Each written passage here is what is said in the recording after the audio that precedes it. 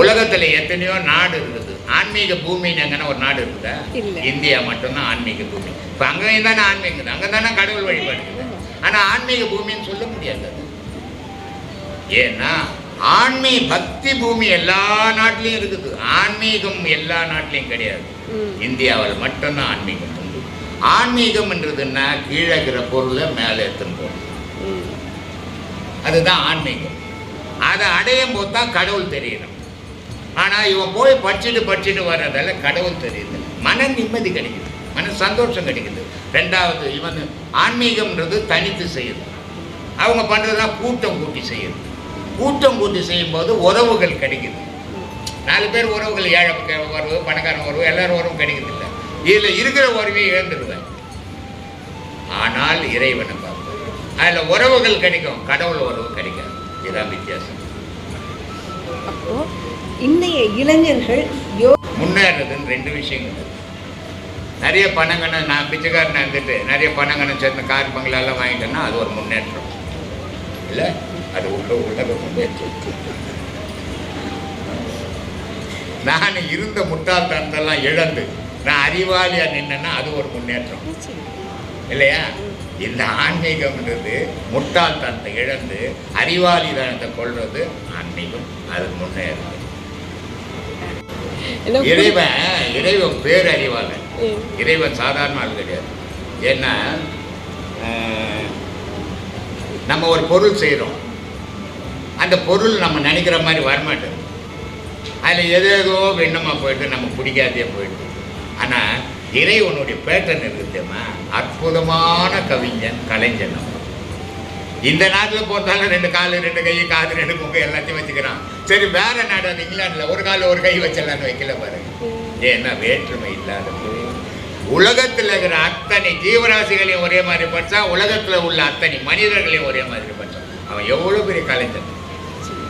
அதனால என்ன பண்ணிட்டான் சாப்பிட்டுக்கணும் மாதிரி காதும் கேட்டுன்னு அதனால நான் டீ குஷ்ணேக்கிறேன் நீ சொல்லிக்கிறேன்னு நான் கேட்டேன். சரிங்க. சரிங்க. சொல்லுமா? இந்த இதில் வந்து ஆன்மீகம்ங்கிறது கடவுள் சார்ந்தது மட்டுமல்ல இது அறிவு சார்ந்தது. இந்த அறிவை அடைவதற்கு ஞான வழிகள் நம்ம பெரியவங்க இப்படி சொல்லி கொடுத்துட்டு போயிருக்காங்க. இது நீங்கள் சொல்லித்தரங்க ஐயா. சொல்லித்தரீங்க எல்லாருக்கும். ஆனால் பிற மதத்தவர்களும் பிற இனத்தவர்களும் அவங்களுக்கும் தனித்தனி கொள்கைகள் வச்சிட்ருக்காங்க. இருக்காங்க அவங்களும் இந்த நெறியின் மூலமாக இந்த ஞானத்தை முழுமையாக அடைய முடியுமா கற்றுக்கிட்டு அதான் சொல்கிறேன்னம்மா மதம்ன்றது மனுஷன் வச்சுக்கிறது.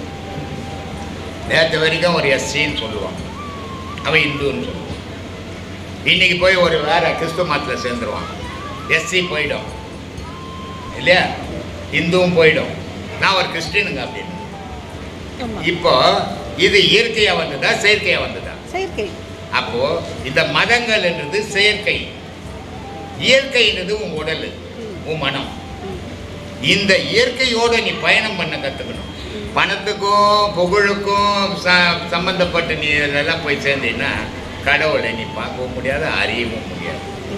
அதனால் ஜாதி மதம்ன்றது கடவுளுக்கு கிடையாது. கடவுள் எந்த ஜாதி? கடவுள் எந்த மதம்? இது எல்லாமே மத வழிபாடில் இருக்கிறவங்க யாருமே கடவுளை அறியாதவங்க. பக்தி அறியவங்க சரி இப்படி வாழலாம். இப்படி வகுத்து கொடுத்துருக்குறாங்க. அப்படின்னு வாழறோம். ஆனால் கடவுளை அடையணும்னு யாரும் இல்லை. கடவுளை அடையணுன்ற ஒவ்வொரு மதத்திலும் யாரோ ஒரு மகான் தோன்றுவோம் கிறிஸ்துவ மதத்திலையும் சில மகான்கள் இருக்கிறாங்க. முஸ்லீம் மதத்திலையும் சில மகான்கள் இருக்கிறாங்க. இந்து மதத்திலையும் சில மகான்கள் இருக்கிறாங்க. எல்லா மதத்திலையும் யாரோ ஒருத்தன் தோன்றுவோம் ஆனால் பெருவாரி பக்தியோட போயிடும். இந்து மதத்தில் பெருவாரி மகானோட இருக்கும். ஆதியில் ஆயிரத்தி எழுநூறு வருஷத்துக்கு முன்னே நபிகள் நாயகம் ஒரு மகான் வந்தார். ஐந்தாம் நபின்னு பேர் அவர். அவர் முன்னாடியே நாலு நபிகள் இருந்தாங்க. ஐந்தாம் நபின்னு பேர். அவர் எழுதுனது குரான். இல்லையா? ஆயிரத்தி எழுநூறு வருஷம் தான் ஆனால் அந்த மகானுக்கு அப்புறம் அந்த மதத்தில் ஒரு மகானா வெளிப்படலை யாரும். மதவாதியாக இருக்கிறாங்க ஏராளமா. மகானா இல்லை. இல்லையா? ஆனால் ரெண்டாயிரத்தி இருபத்தோரு வருஷத்துக்கு முன்ன ஒரு மகான் இயேசு வந்தார். ஆனால் ரெண்டாயிரத்தி இருபத்தோரு வருஷம் ஆயும் ஒரு மகான் வரல. ம். ஆனா மதவாதிங்க கோடிக்கணக்கில் வந்திருக்கிறாங்க. மகான்கள் ஒவ்வொரு மதத்திலையும் தோன்றுனது உண்டு. ஆனால் இந்து மதத்தில் அப்படி இல்லை. வருஷா வருஷம் ஒரு மகான் தோன்றிக்கினே இருப்பான். அப்படி வந்தவர் தான் வள்ளலார். அப்படி வந்தவர் தான் ரமணர். அப்படி வந்தவர் தான் ராமகிருஷ்ணர். அப்படி வந்தவர் தான் விவேகானந்தர். இல்லையா? காரணம் என்ன அப்படின்னா அந்த மகான்கள் கடவுளை அடைய வழி தேடி பயணம் பண்ணுவாங்க. அதனால அவங்க மகான்கள் ஆனோம் ஆனா இந்த மதவாதி புக்கோட நிக்கிறதால இவன் மதவாதியாகவே நின்று போறான். ஆனா இதுல வந்து புக்கு தொடுறதே கிடையாது மகான்கள். அவனும் ஆராய்ஞ்சவன் மகான் ஆகிறான் அதனால இது அடிக்கடி மகான்கள் தோன்றின பூமி. தோன்றிக்கினே இருப்பாங்க. இன்னும் பல ஆயிரம் மகான்கள் வருவாங்க. ஆனால் மற்ற மாதத்தில் வரமாட்டாங்க. மதத்தோட புனிதத்தன்மையை நீங்கள் சொன்னீங்க. ஆனால் பிற மதங்களில் புத்தர் தோன்றி ஆசையே அழிவுக்கு காரணம். எல்லாருக்கும் எந்த துன்பமும் கொடு உயிர் கொள்ளாமே கூடாது. யாருக்கும் எந்த துக்க தொல்லையும் கொடுக்காம அன்பாக வாழணும் அப்படிங்கிற சமத்துவத்தை எல்லாம் சொல்லிட்டு போனாங்க. ஆனால் இன்னைக்கு புத்த மதத்தில் அந்த நிலை மாறி போச்சு கொல்லாமை இல்லை.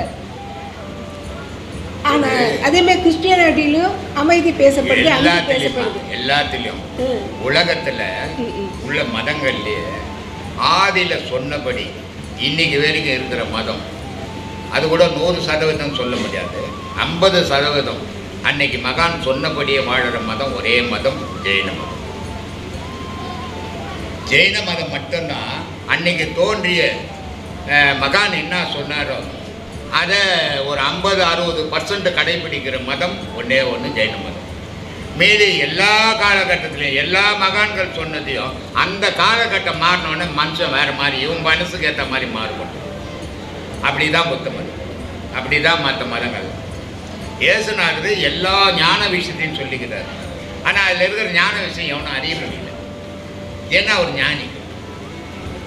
திருக்குறளில் எல்லாரும் சொல்லுவாங்க திருக்குறளில் கடவுளை பற்றி அவர் பேசலை. யார் சொன்னது?